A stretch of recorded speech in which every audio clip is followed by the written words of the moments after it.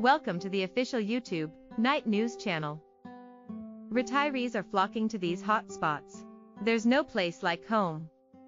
In retirement, that's not always the case. Lured by better weather, lower taxes, or an improved quality of life.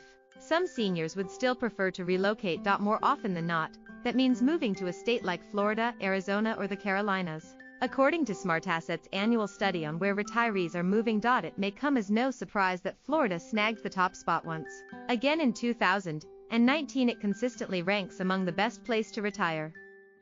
For good reason, the Sunshine State benefits from a low cost of living, extensive availability of health facilities and recreational activities, including golf, museums and beaches, as well as no personal income tax.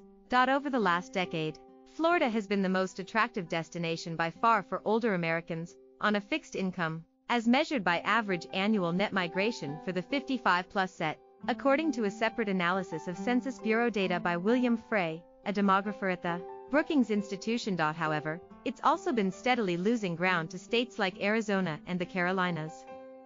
This year, the total number of migrations fell to 68,918 seniors, from 84,663. The previous year, SmartAsset found. Arizona closed in on number 1, with 31,201 retirees coming to the state, up from 28,614 in the 2018 rankings.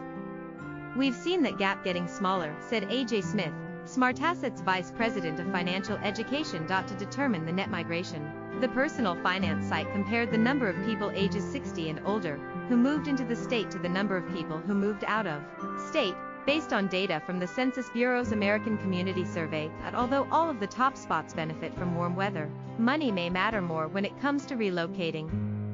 Notably, half of the states in the top 10 do not tax income and wages, SmartAsset said. On the flip side, high-tax states such as California, New York and New Jersey were among the least popular spots to relocate.